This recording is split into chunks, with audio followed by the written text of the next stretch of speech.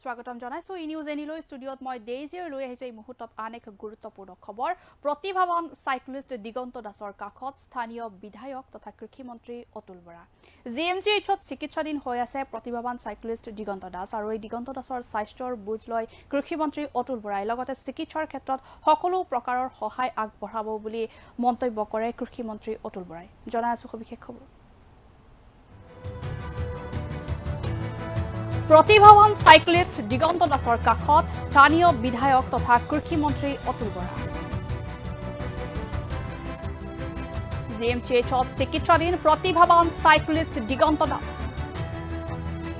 আৰু এই দিগন্ত দাসৰ কাষত এতিয়া উপস্থিত হৈছে কৃষিমন্ত্ৰী অতুল বৰা। স্বাস্থ্যৰ বুজ ল'বলৈ উপস্থিত হৈছে মন্ত্ৰীগৰাকীয়ে। এখন তীব্ৰবেগী স্কুটিয়ে খুন্দিয়াই গুৰুতৰভাৱে আহত কৰে দিগন্ত দাসক। আৰু জি এম চি এইচত চিকিৎসাধীন হৈ আছে প্ৰতিভাৱান চাইক্লিষ্টগৰাকী আৰু দিগন্ত দাসৰ ওচৰত উপস্থিত হৈছে আজি কৃষিমন্ত্ৰী অতুল বৰা স্বাস্থ্যৰ বুজ ল'বলৈ।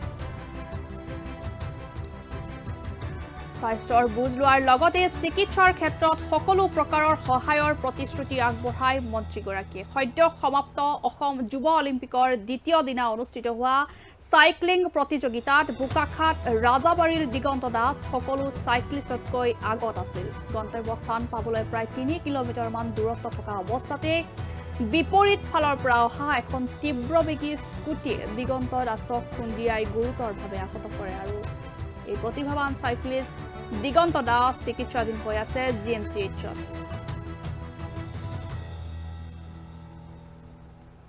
আৰু দেওবাৰে ৰাজাবাৰীৰ নিজা ঘৰ আহি পোৱাৰ পাছত নিশা স্থানীয় বিধায়ক তথা কৃষিমন্ত্ৰী অতুল বৰা দিগন্ত দাসৰ বাসগৃহত উপস্থিত হৈ স্বাস্থ্যৰ বুজ লয়। আৰু আগন্তুক দিনত দিগন্তক সকলো প্ৰকাৰৰ সহায় কৰাৰ প্ৰতিশ্ৰুতি প্ৰদান কৰে মন্ত্ৰীগৰাকীয়ে। প্ৰতিভাৱান চাইক্লিষ্ট দিগন্ত দাসৰ কাষত উপস্থিত স্থানীয় বিধায়ক তথা কৃষিমন্ত্ৰী Atul Bora G M C এইচত চিকিৎসাধীন হৈ আছিল প্ৰতিভাৱান চাইক্লিষ্ট দিগন্ত দাস আৰু নিজ বাসগৃহত আহি উপস্থিত হোৱাৰ পিছতেই স্বাস্থ্যৰ বুজ ল'বলৈ উপস্থিত হয় কৃষিমন্ত্ৰী অতুল বৰাই। লগতে চিকিৎসাৰ ক্ষেত্ৰত সকলো প্ৰকাৰৰ সহায় আগবঢ়াব বুলি মন্তব্য কৰে কৃষিমন্ত্ৰী অতুল বৰাই। আৰু আমাৰ হাতত মন্ত্ৰীগৰাকীৰ কিছু মন্তব্য আছে। এই মুহূৰ্তত আমি শুনাই ল'ব খুজিছোঁ ই নিউজ দৰ্শকসকলক। যে দিগন্ত দাসৰ দুৰ্ঘটনাত পতিত হৈছিল। আপুনি তৎপৰতাৰে গুৱাহাটীত চিকিৎসাৰ কাৰণে ব্যৱস্থা কৰিছিলে? দিগন্তক মই আগৰ পৰা জানো। খুব তেওঁলোকে ভালদৰে প্ৰেক্টিচ কৰি থাকে। ইয়াৰ পৰা জখলা বন্ধালৈকে তেওঁলোকে চাইকেল চলাই যায় শদিয়ালৈও গৈছে। তেওঁৰ আৰু এজন বন্ধু আছে তেওঁ মোতকৈ ছাইড গৈছে। এতিয়া সিদিনা যিটো ঘটনা সংঘটিত হ'ল নিতান্তই দুৰ্ভাগ্যজনক। আজি মই খবৰ ল'লোঁ। দিগন্ত ঘৰ ঘৰত আছে দিগন্ত দাসৰ ঘৰত তেওঁ মই খবৰ ল'লোঁ আৰু তেওঁ লাহে লাহে সুস্থ হৈ উঠিছে কিন্তু কাণৰ অলপ প্ৰব্লেম থকা বুলি কৈছে দাঁতকেইটাটো ভাগিছে। আৰু তেওঁ ভাতৃয়ে কৈছে যে এসপ্তাহৰ পিছত আকৌ মাতিছে। গতিকে ভালকৈ চেক আপ কৰক গুৱাহাটী মেডিকেল কলেজত আকৌ আমি যোগাযোগ কৰিম। তেওঁ সুস্থ হৈ উঠক তাকে কামনা কৰিছোঁ। এখন এজন প্ৰচুৰ সম্ভাৱনাত সম্ভাৱনাপূৰ্ণ এজন খেলুৱৈ। দুখীয়া ঘৰৰ এটা পৰিয়াল। খুব হেঁপাহ আছিলে যে যুৱ অলিম্পিকত স্বৰ্ণ পদক আদি। তাৰ সেই দিশতো গতি কৰিছিলে। কিন্তু বোকাখাতো বহুতেই এইবাৰ ভাল বিভিন্ন প্ৰতিযোগিতাত তেওঁলোকে ভাল প্ৰদৰ্শন কৰিছে আৰু পদক পাবলৈ সক্ষম হৈছে। গতিকে তেওঁৰো দিগন্ত দাসৰ সম্ভাৱনা থকা এজন মইতো কৈছোঁৱেই খেলুৱৈ। ভৱিষ্যত তেওঁৰ আছে তেওঁ সুস্থ হৈ উঠক আমি তাকে কামনা কৰিছোঁ। আৰু এই চিকিৎসাৰ ক্ষেত্ৰত এই? আমাৰ যি সহায় লাগে সেই সহায় আমাৰ সদায় থাকিব ধন্যবাদ। ঠিক আছে। পৰ্যায়ৰ পৰা যে আহ,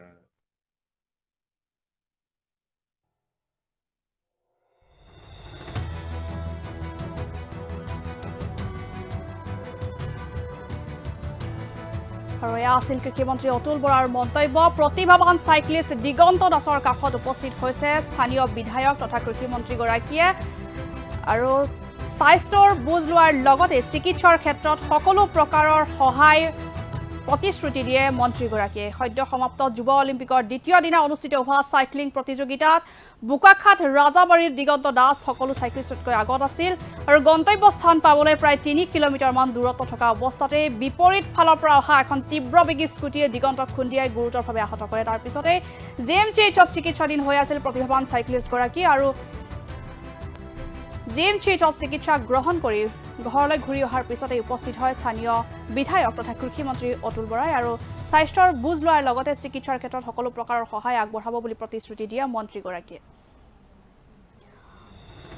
আৰু আগন্তুক দিনত দিগন্তক সকলো প্ৰকাৰৰ সহায় আগবঢ়াৰ প্ৰতিশ্ৰুতি দিয়ে। বৰ্তমান বৰ সম্পূৰ্ণ সুস্থ হৈ উঠা নাই যদিও বোকাখাট ৰাজাবৰীত দিগন্ত দাসৰ প্ৰবল ইচ্ছা সুস্থ হৈ পুনৰ চাইক্লিং প্ৰতিযোগিতাত ভাগ ল'ব আৰু অসমৰ লগতে বোকাখাটলৈ গৌৰৱ কঢ়িয়াই আনিব।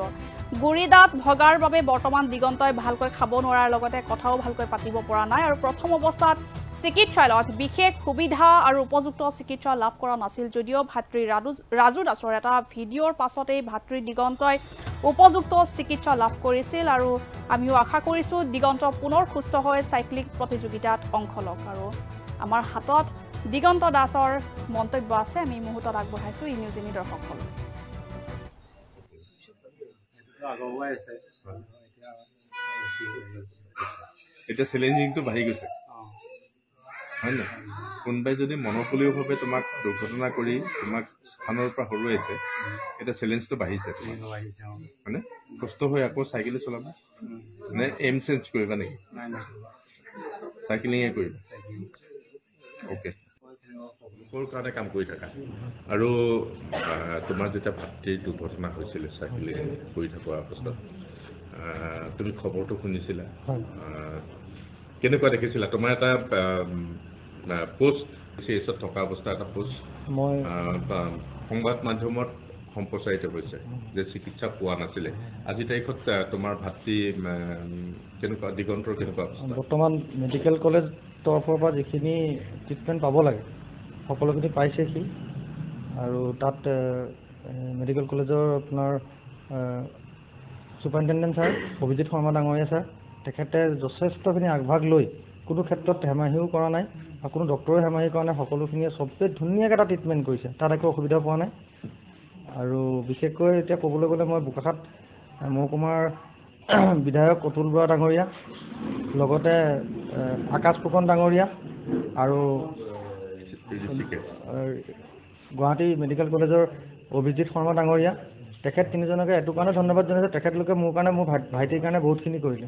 মই যেনেকৈ বেলেগৰ কাৰণে দৌৰি থাকোঁ কাৰোবাৰ কিবা এটা হ'লে প্ৰব্লেমত দৌৰোঁ তেখেতলোকে গম পায় যে ৰাজু বেলেগৰ কাৰণে দৌৰি থাকে। আজি মই নিজৰ ভাইটিৰ কাৰণে যোৱা অৱস্থাত আকাশ ফুকন ডাঙৰীয়া মাননীয় বিধায়ক অতুল বৰা ডাঙৰীয়া লগতে ঋষিকেশ দা আৰু অভিজিত শৰ্মা ডাঙৰীয়া। তেখেতলোকে যথেষ্টখিনি সহায় কৰিছে। কোনো ধৰণৰ আমি ট্ৰিটমেণ্টৰ ক্ষেত্ৰত অসুবিধা পোৱা নাই। কিন্তু আমাৰ আমাৰ এটা ফেচবুক পোষ্ট দিছিলা। পষ্টটো মই নাই দিয়া মোৰ দাদা এজন দিছিলে। কিন্তু মই এই। ক্ষেত্ৰত এই ক্ষেত্ৰত নহয় নাই আমি ট্ৰিটমেণ্ট পাইছোঁ। কিন্তু আমি এছ'চিয়েশ্যনৰ ফালৰ পৰা কোনো ধৰণৰ সঁহাৰি নাই। পোৱা। আজিৰ তাৰিখত পাইছা আজি তাৰিখলৈকে নাই পোৱা। কিন্তু এছ'চিয়েশ্যনে এটা কথাই কয় আমি ছুপাৰিণ্টেণ্ডেণ্টক কৈ থৈছোঁ ছুপাৰিণ্টেণ্ডেণ্টক কৈ থৈছোঁ। কিন্তু আমি গম পোৱা মতে আছাম গভৰ্ণমেণ্টে প্ৰত্যেকজন খেলুৱৈলৈ এটা বস্তু ৰাখিছে যে কিবা কাৰণত আঘাতপ্ৰাপ্ত হ'লে তেখেতলোকক চিকিৎসা মেডিকেল কলেজত কিন্তু তাৰ নামত তেখেতলোকে কয় যে আমি চব ঠিক কৰিছোঁ। কিন্তু আমি দ- আঠ দিন থাকি আহিলোঁ। তেখেতলোকৰ মানুহ চাৰিদিনলৈকে নাই যোৱা। চাৰিদিনৰ পিছত গৈছোঁ আহিছে চাৰিজন চাইক্লিং এছ'চিয়েশ্যন আহি জাষ্ট খবৰ এটা ল'লে গুচি গ'ল। তাৰ বাহিৰে একো কোনো কথা নাই। আৰু তে- আ- আজিৰ তাৰিখত তোমাৰ ভাতৃ দিগন্তৰ অৱস্থা বৰ্তমান তেওঁ অন্য জেগাত দুখ পোৱা নাই। দাঁতত যিখিনি কৰিবলগীয়া আছিলে কৰি দিছে। আপোনাৰ তাৰপিছত এসপ্তাহৰ পিছত মাতিছে। কাণখনৰ অলপ প্ৰব্লেম হৈছিলে। আজি আকৌ গোলাঘাট লৈ গ'লোঁ। দেখাই মেলি আহিলোঁ তাত। বৰ্তমান ঘৰতে আছে? ঘৰতে আছে এতিয়া এতিয়ালৈকে যিখন স্কুটি স্কুটিখনৰ ওপৰত আমি কালি এজাহাৰ এটা দি থৈ আহিছোঁ ফেক্টৰী থানাত বৰ্তমানলৈকে তেওঁলোকে স্কুটিখন একো কৰা নাই।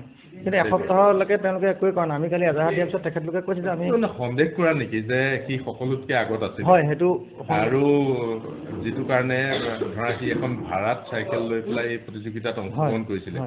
যে সেইটো কাৰণে তেনেকুৱা ধৰণৰ কিবা তেনেকুৱা এটা সন্দেহ অকল ময়ে নহয় আজি যিমানখিনি মানুহে দেখিছে চবে একেটাই সন্দেহ কৰিছে। কাৰণ বস্তুটো হ'ল কি সি যিটো কষ্টৰে আগবাঢ়ি গৈছিলে তাৰ কোনো কোচ নাছিলে যিখিনি কৰিছিলে আজি তিনি চাৰি বছৰ অকলে কৰিছিলে। হা, তাৰ চাইকেলখন আপোনালোকে দেখিব পাৰে এইখন চাইকেল তাৰ? এইখন চাইকেল চাইকেল লৈ সি এই তিনি বছৰ এইখন চাইকেলেই খেলি আছিলে। কিন্তু গেমত এইখন চাইকেল নহয় বেলেগ চাইকেল লাগে কাৰণে আমি কিনিব পৰা ক্ষমতা নাই কাৰণে। আমি চাইকেলখন আঠশ টকাকে ভাড়া লৈছিলোঁ ভাড়া। হয়। চাইকেলখনো সম্পূৰ্ণভাৱে বিধ্বস্ত। তাতে আকাশ প্ৰকাশ ডাঙৰীয়াই কৈছে যে আকা- চাইকেলখনৰ বিষয়ে চিন্তা কৰিব নালাগে কি কৰিব লাগে মই কৰিম তেনেকৈ বুলি তেখেতে কৈছে। আৰু দিছে দিছে। দিছে আশ্বাস দিছে। দিছে দিছে। আহ, উম, এই কৈছে? কাৰোবাক এনেকে ধৰণে যদি দুৰ্ঘটনা আজি মানে বেয়া লাগিছে এইটোৱেই। আজি বোকাখাটলৈ এটা দুটা নহয় চাৰিটাকে আহিছে ৰেচলিঙত আহিছে আপোনাৰ জেভলিনত আহিছে। তেনে চুইমিঙত আহিছে তেনেকৈ বোকাখাটলৈ কেইবাটাও আহিছে। ঠিক হয়তো এই ঘটনাটো নোহোৱা নহয় ভাইটিও হয়তো চাইক্লিঙত আজি সেইটো বোকাখাটলৈ gold গৌৰৱ অঁ গৌৰৱ এটা। হয় সেইটো অকল আমাৰ ঘৰখনৰ গৌৰৱ নহয় সেইটো বোকাখাটৰ গৌৰৱ হ'লহেঁতেন। কিন্তু মাজ ৰাস্তাত তাৰ। দুৰ্ভাগ্য হ'লেও সি এটাই কৈ আছে যে মই ভৱিষ্যতলৈ আকৌ চলাম কিবা এটা কৰিম আকৌ চাইকেল চলাম কিন্তু এতিয়া পাৰে নোৱাৰে সেইটো তাৰ নিজৰ দেহাৰ ওপৰত নিৰ্ভৰ কৰিব যিহেতু তাৰ দাঁতখিনি আগফালৰ সেইখিনি ভাগিছে কথা পাতিব পৰা খুব স্পষ্টকৈ নহয়। আৰু তিনি মাহলৈ ডক্টৰে কওঁতে তিনি মাহলৈ সি অকল জুলীয়া পানীৰ বাহিৰে একো বস্তু খাব নোৱাৰে। গোটা বস্তু একো গোটা বস্তু খাব নোৱাৰে। ঠিক আছে ঠিক। লোকৰ কাৰণে কাম কৰি থাকা। আৰু তোমাৰ যেতিয়া ভাতৃৰ দুৰ্ঘটনা হৈছিলে চাইকেলিং